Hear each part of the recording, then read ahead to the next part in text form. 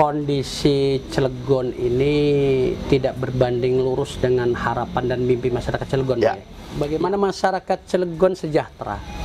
Bagaimana kemiskinan terurai? Bagaimana masalah kesehatan? Bagaimana terciptanya lapangan kerja baru?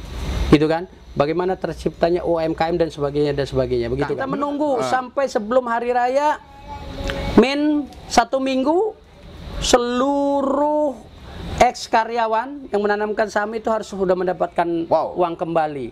Untuk membantu mereka datangnya hari besar hari raya. Karena Idul itu sangat bukan hanya mendorong bang. Insya Allah kami mendampingi monitoring mengawal sampai detik terakhir. Bahkan kemarin kita komunikasi dengan ketua DPRD bahwa ketua DPRD juga akan segera memanggil uh, Primikokas dengan salah satu direksi KS ini sampai di mana penyelesaiannya gitu sebelum satu minggu sebelum menjelang hari Wow. Idul Fitri Kita tunggu. kita kawal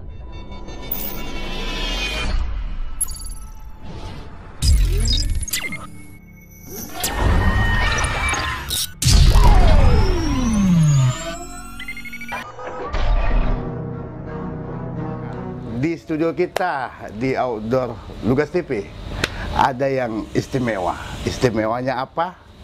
Di mana kesibukan daripada narasumber kita ini eh, tentunya kita ajung jempol, dia berkenan datang dan juga nanti ada kegiatan rutin yang mereka lakukan tentunya bekerja sama dengan kita Lugas TV. Kita perkenalkan eh, Kang Mia panggilan di media sosial. Beliau anggota DPRD dari fraksi Demokrat ya. Eh, Muhammad Ibrahim Aswandi. Selamat sore Kang. sore bang Kesasar Kang? agak lewat tadi karena memang masuk kan ke dalam lokasi Lugas TV ini Oke, Kang, ah, kita bicara santai Ya. sebelum menunggu ada kegiatan eh, santunan ya, Santunan. mungkinan dari Partai Demokrat lah ya, Ya. yang mewakili eh, Kang Ibrahim. Kang, Ya. silakan menyapa sahabat Lugas TV.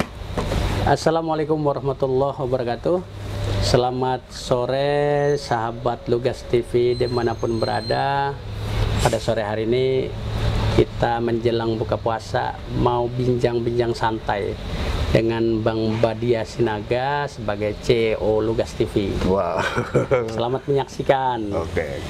Kang Mia, saya panggil Kang Ya, Mia nih supaya ya. lebih asik. Oke. Kang Mia, ah, setiap kita narasumber eh, selalu kita podcast kita undang. Ya, Namun untuk ini berbeda ketika kita undang eh, khususnya Demokrat tadinya eh, bisa berkenan kehadiran dari Bapak Haji Awab. Ya. Kebetulan dia konfirmasi ke kita ada halangan dan kami juga bisa mewakili lah. Siap, siap. Ah, dengan bahasa yang disampaikan bahwa Pak Haji Awab kalau bisa sekalian santunan lah. Ya. Bisa nggak dijelaskan memang seperti apa nih kegiatan dari Partai Demokrat ini?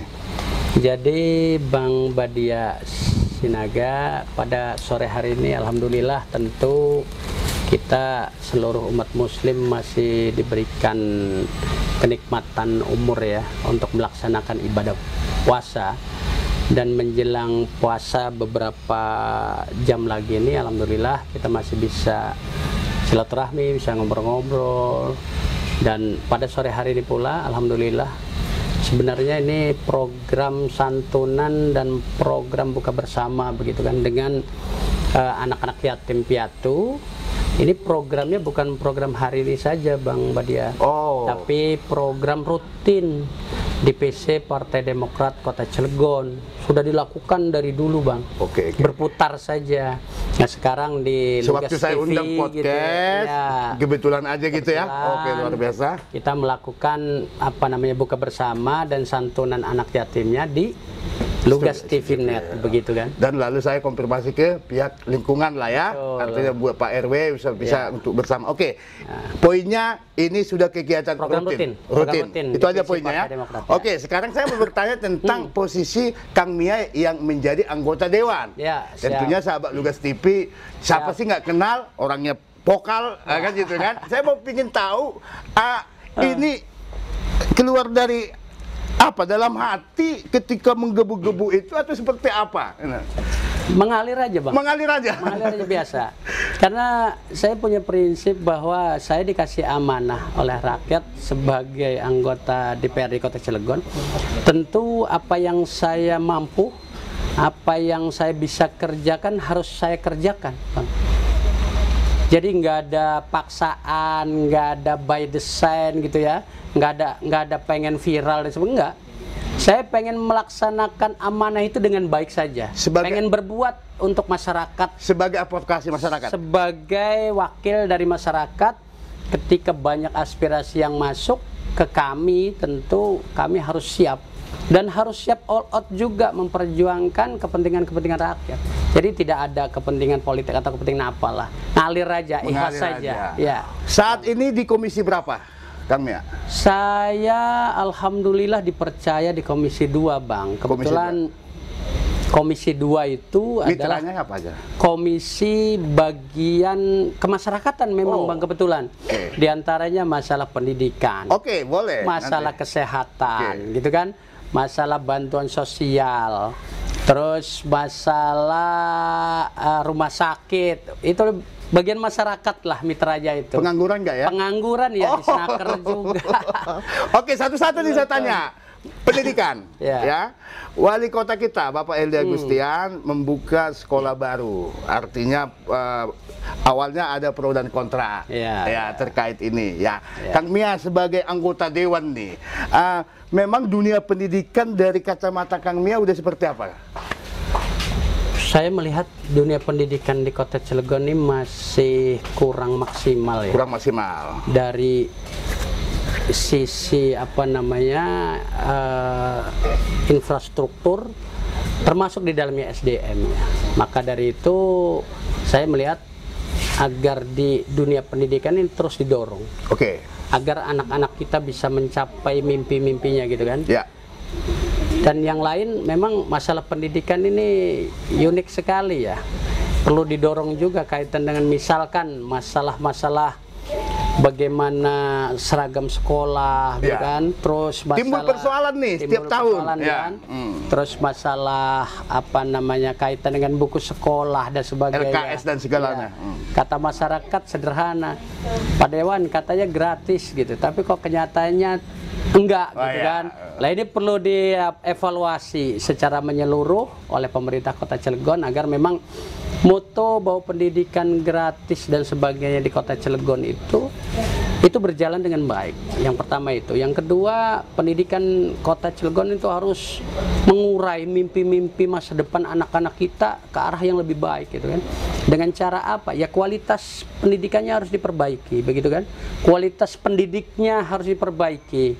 Infrastrukturnya harus diperbaiki dan dilengkapi dan sebagainya dan sebagainya. Gitu, Bang. Oke, luar biasa. Iya. Artinya dunia pendidikan saat ini kurang Masih kurang Ya, maksimal. artinya Masih un- kurang inilah tugas daripada Betul. dinas pendidikan Ya. tentunya wali kota Cilegon. Iya. Oke, sekarang masalah Pengangguran. pengangguran nih, karena saya lihat seksi lagi. banget nih, Iya, seksi betul, banget betul. karena masyarakat banyak yang mengadu mem- eh, ke dewan nih, Iya. adakan hearing lah segala Iya. macam gitu kan. Jadi poinnya yang mau disampaikan ke sahabat Lugas TV, Kang Mia begini, eh, sebenarnya dari dewan ini melihat dengan jumlah ratusan industri ini, oke kita tentu Ya. eh, padat karya, Ya. kan boleh dong masukkan langkah-langkah apa yang harus dibuat strategis buat uh, Pemerintah daerah. pemerintah daerah. Oke. Silakan. Jadi memang kondisi Cilegon ini tidak berbanding lurus dengan harapan dan mimpi masyarakat Cilegon. Ya.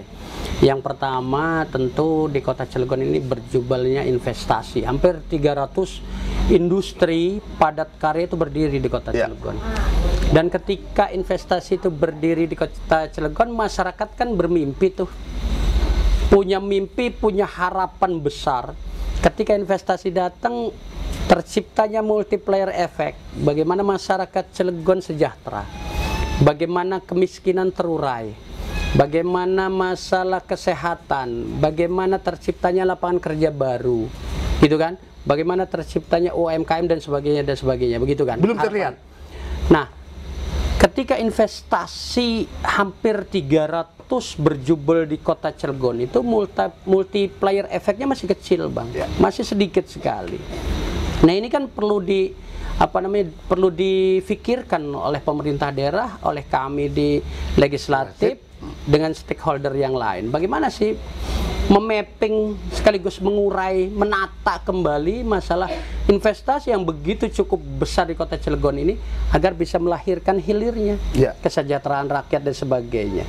Nah sekarang dengan investasi yang besar itu masih pada tataran kalau bahasanya saya sadar bahasa Dr. Fauji itu kita ini masih membangun di kota Cilegon begitulah katanya. Masih membangun. Membangun di kota Cilegon, bukan membangun kota Ya, Cilegon. di kota. Iya, Di kota ada Cilegon. kata dinya. Begitu Oke, kan. siap. Hmm. Jadi apa bedanya? Kalau membangun di kota Cilegon itu tidak ada multiplier efeknya, Bang. Tidak ada beban-beban sosial gitu ya.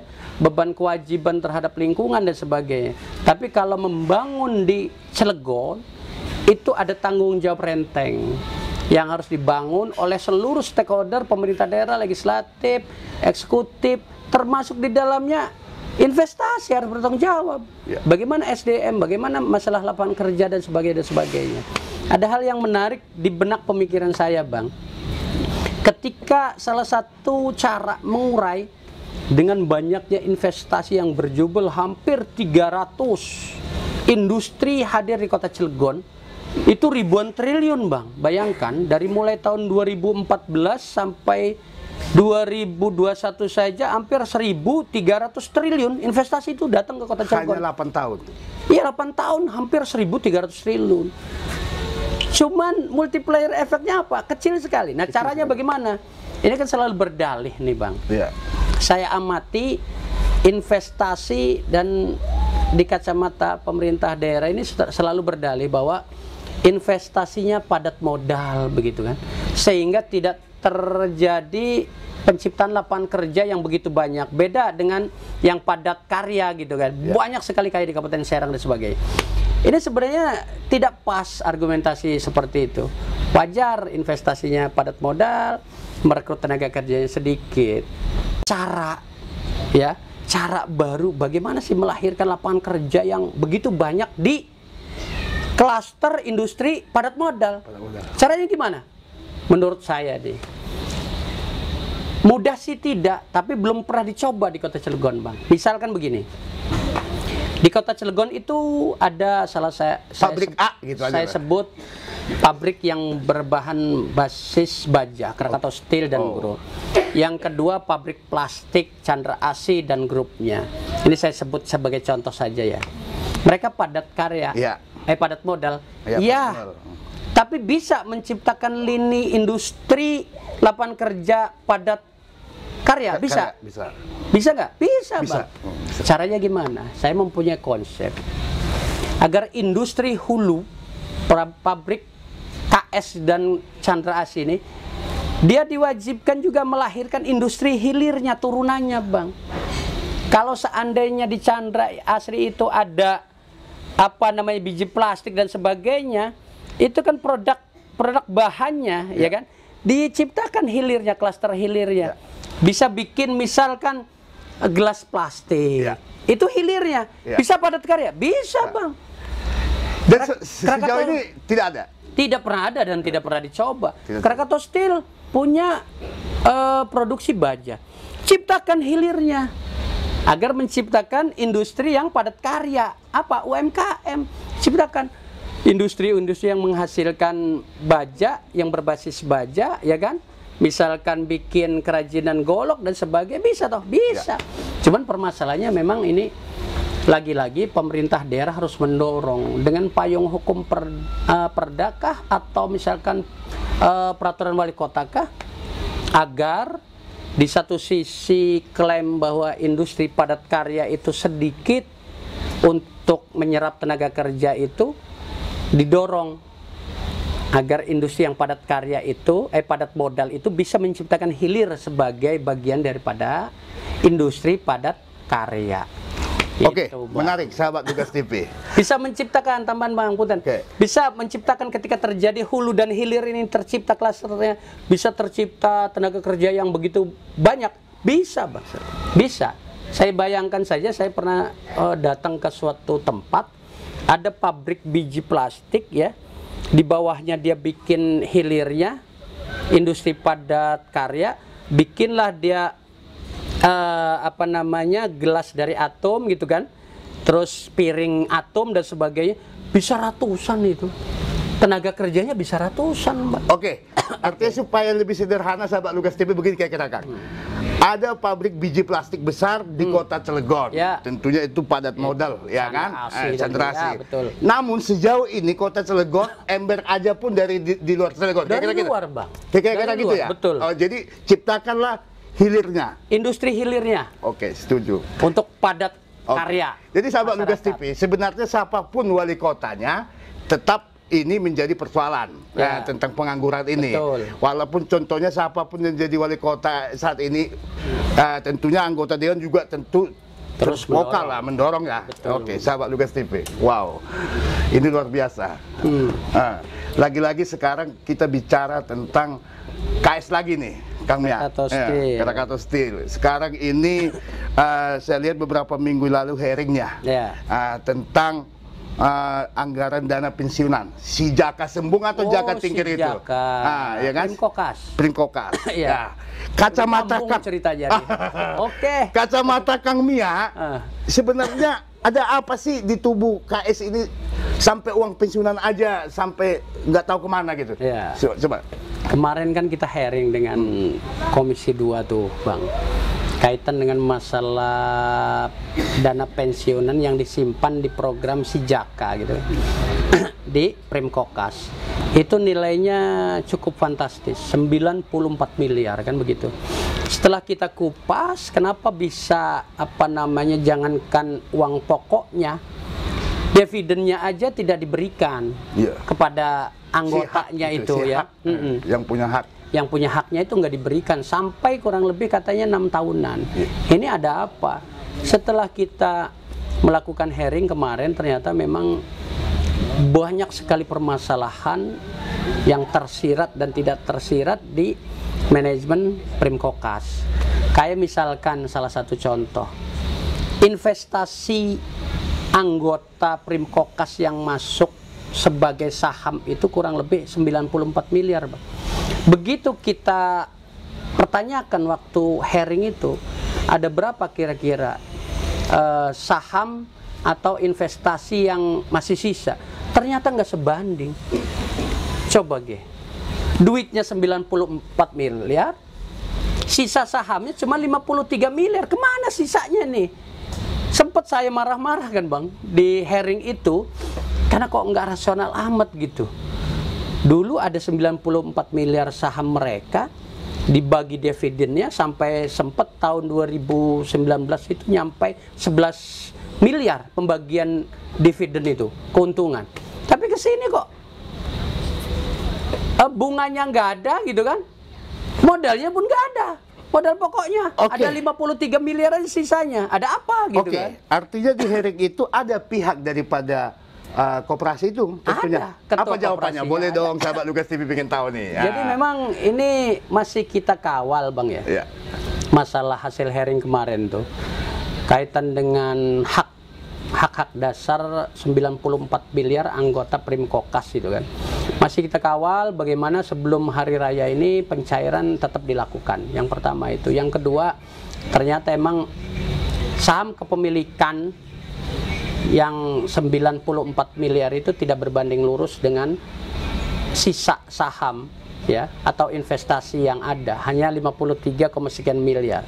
Lah, janji dari Primkokas kemarin yang akan dilakukan bahwa mereka akan melakukan menstabilkan dulu nih Primkokas begitu.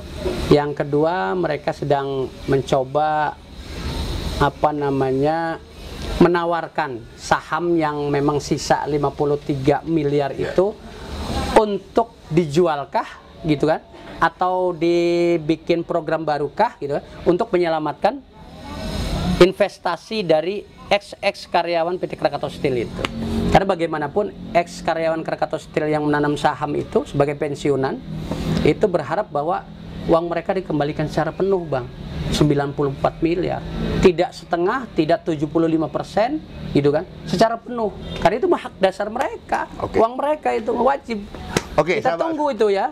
Oke, sahabat Lukas TV, kita menunggu. Kang. Kita menunggu Ah. sampai sebelum hari raya min satu minggu seluruh ex karyawan yang menanamkan saham itu harus sudah mendapatkan Wow. uang kembali untuk membantu mereka datangnya hari besar hari raya Karena Idul itu sangat Fitri. dibutuhkan. sangat dibutuhkan Bang. Sangat sangat dibutuhkan dan juga mereka itu hak- janji dan itu juga hak mereka, hak wajib. mereka hak mereka Jadi sejauh ini anggota dewan terus mendorong ini, mengawal. bukan hanya mendorong bang, insya Allah kami mendampingi, monitoring, mengawal sampai detik terakhir. Bahkan kemarin kita komunikasi dengan Ketua DPRD bahwa Ketua DPRD juga akan segera memanggil uh, Primkokas dengan salah satu direksi KS.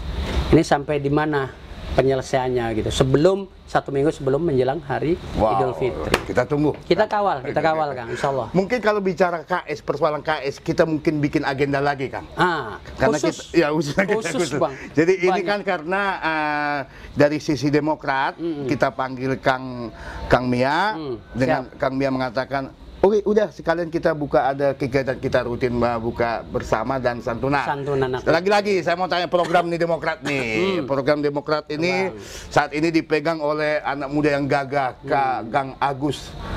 Uh, ketua umumnya Agus Agus Harimurti Yudhoyono, Oke. AHY. Ayahi, betul, luar biasa. Kang, dari sisi Kang Mia nih, Hmm. sosok daripada AHY ini apa? Saya secara pribadi apa ya sangat bangga dengan apa namanya nahkoda muda milenia komando Pak AHY nih Bang. Kenapa? Saya bangga melihat beliau ini masih muda harapan bangsa ya dari cara leadershipnya mumpuni umur masih muda tapi mumpuni sudah di level nasional. Dan saya di daerah sebagai kader beliau kader demokrat itu harus mengikuti langkah dan jejak beliau. Harus bangga. Jadi pemuda hari ini harus bangga sebagai calon pemimpin masa depan. Oke. itu yang ditunjukkan oleh Pak AHY dan saya yakin secara pribadi bahwa apalagi di bulan Ramadan saya sebagai kader Demokrat mendoakan dan meyakini betul bahwa Pak AHY itu calon pemimpin masa depan di Republik ini, Bang. Saya meyakini. Oke. Sudah saatnya kader muda ya, milenia maju di depan, tampil di depan untuk mengembangkan negeri ini ke arah yang lebih baik. Oke. Partai Demokrat ada anak saya pemuda gar eh, pemuda apa? Eh, Ada yang Kang Mia sebagai AFPD, ketua. Angkatan Muda Partai Angkatan Muda Demokrat. Partai Demokrat Betul. Itu sebagai isi- ketua. Betul.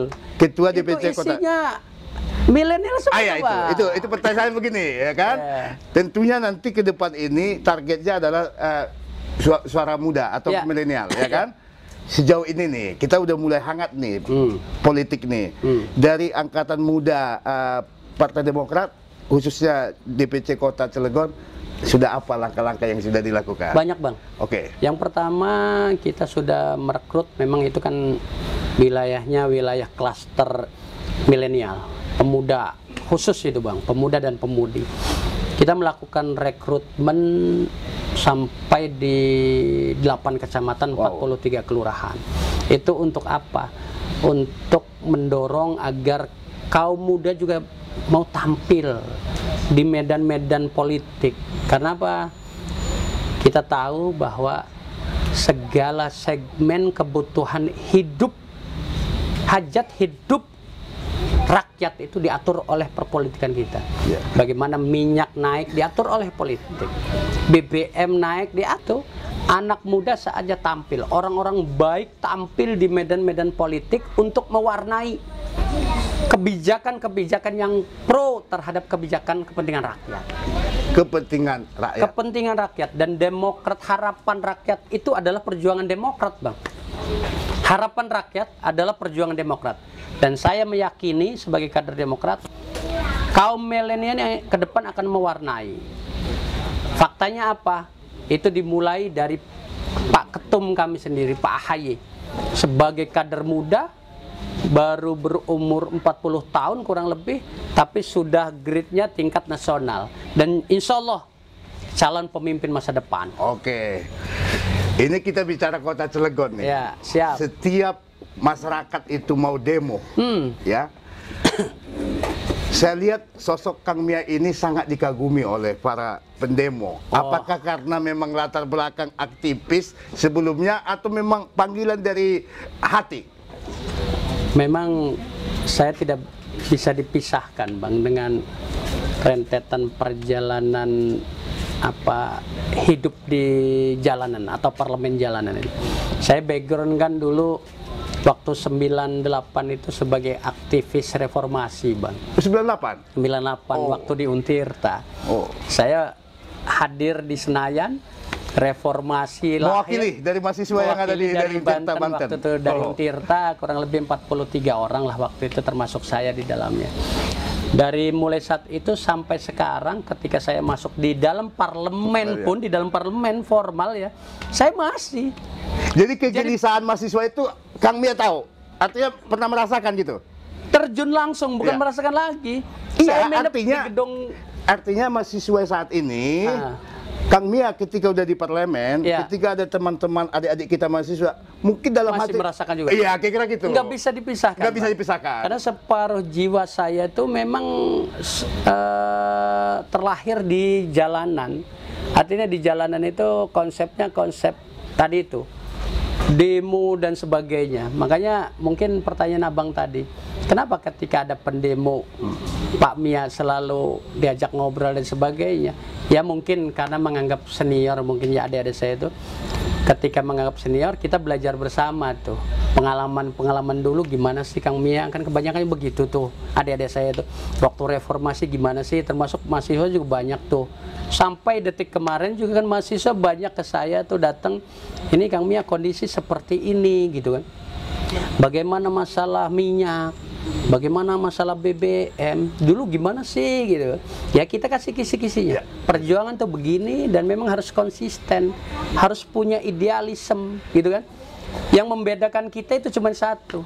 Kita punya idealisme atau tidak? Itu aja bang yang membedakan mahalnya kita itu.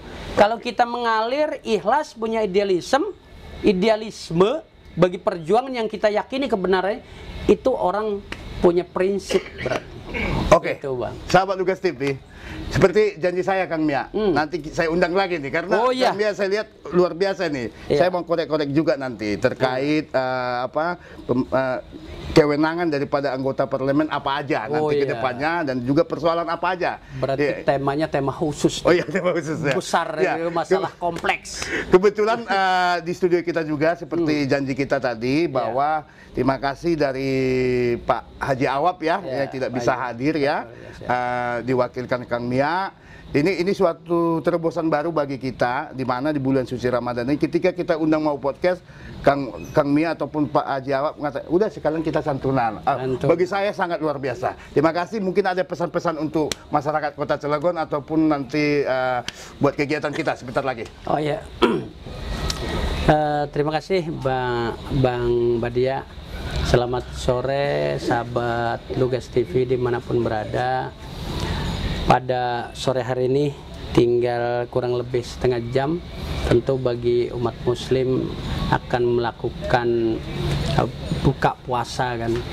Kami sebagai pengurus DPC Partai Demokrat mengucapkan selamat menjelang buka puasa ini semoga seluruh akhul muslim di mana pun berada selalu diberikan kesehatan, diberikan keberkahan gitu.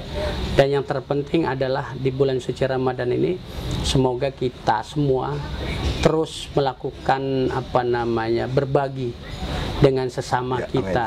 Banyak saudara-saudara kita yang perlu kita dorong terus kita berbagi berbagi apa pun itu termasuk sore hari ini alhamdulillah DPC Partai Demokrat juga akan bang berbagi sedikit dengan saudara-saudara Dan kita. ini udah kegiatan rutin. ya dan ini kegiatan rutin berbagi dengan yatim dan piatu. Kenapa target kita yatim dan piatu?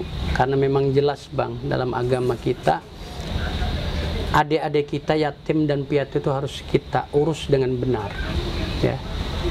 Bahkan baginda Nabi Muhammad itu menjamin siapa yang mengurus anak-anak yatim dan piatu seperti tangan yang tidak bisa dipisahkan kedua jari ini? Nanti di uh, padang masar nanti tidak dipisahkan. Dan itu saya mendorong kepada saudara-saudaraku yang diberikan kelebihan rizki oleh Allah Subhanahu wa taala ini saatnya bulan untuk bagaimana kita merasakan betul ya kekurangan kesusahan saudara-saudara kita adik-adik kita dan kita diwajibkan bagi yang diberikan banyak rizki ini untuk berbagi terhadap sesama bang. Mau siapa lagi gitu kan? Makanya kita diuji setiap tahun untuk berpuasa. Untuk apa itu? Untuk merasakan apa yang saudara-saudara kita rasakan juga. Dari pagi kita tidak makan, tidak minum. Banyak saudara-saudara kita bertahun-tahun makan kesusahan. Nah saatnya ini ya. berbagi, bertebaran, berbagi. ditebar di mana-mana.